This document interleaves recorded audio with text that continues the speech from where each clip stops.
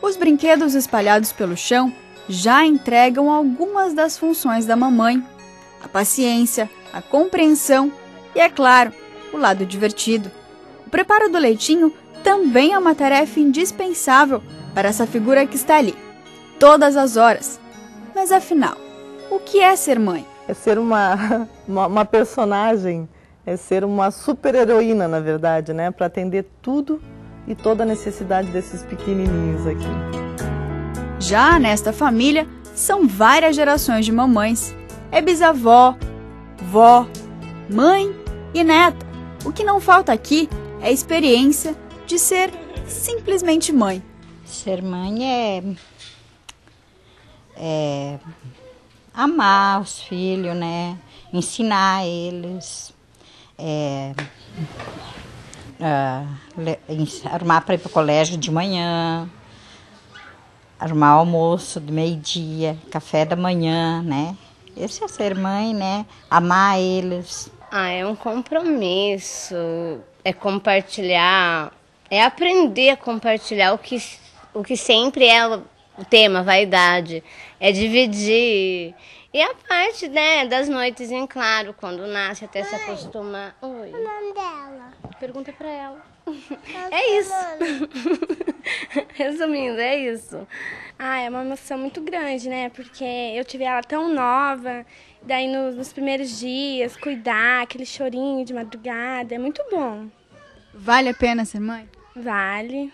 Eu não me arrependo. O que significa ser para você mãe de dois agora?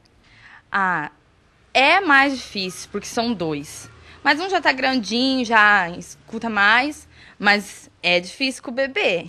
E tem vezes que até duas, três vezes da a noite tem que levantar, mas a gente passa. Vale a pena tudo isso? Vale. Nossa, como vale? É um amor tão grande. O amor é o fator principal que alimenta a relação da figura materna e o filho.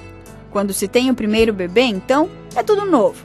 Mas com uma boa preparação, aquela figura que por nove meses ficou na barriga é recebida com todo o amor que o mundo pode oferecer não é mesmo, Elizabeth? Uma experiência muito incrível, que eu acho que só quando a mulher passar por isso que ela vai realmente entender o que eu estou dizendo. Dá aquele friozinho na barriga por ser o teu primeiro dia das mães, como é que é? Sim, dá, com certeza. Os filhos crescem e a distância fica inevitável.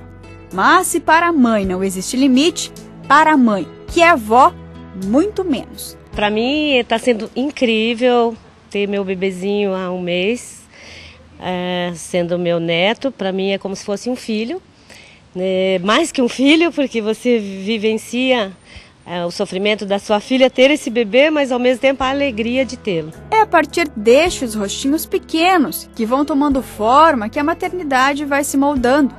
O fato é simples: ser mãe é ter um amor incondicional que supera barreiras e dificuldades. Costumam dizer que ninguém é insubstituível, mas você, mãe, é. Ninguém é capaz de proporcionar o afeto e o carinho que só você tem. Bom, em primeiro lugar, ser mãe é uma bênção divina. É uma realização, é ver a tua continuidade, é, é identificar cada coisa sua no seu filho e também uma programação para que eles possam crescer com saúde, né? E dar sequência na vida da gente. Ser mãe é muito bom. Feliz Dia das Mães para todas as mães, para todas as minhas filhas também que são mãe e para minhas vizinhas que são mãe. Um feliz Dia das Mães para todas as mães, para minha mãe em especial, para mim que sou mãe também e para para quem é mãe e não tem mãe para passar o Dia das Mães. Feliz Dia das Mães! Feliz Dia das Mães!